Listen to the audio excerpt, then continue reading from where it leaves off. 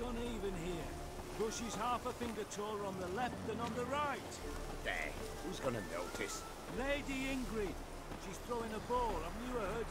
With all the great lords and ladies of Novigrad attending, the garden's got to be perfect to the painting,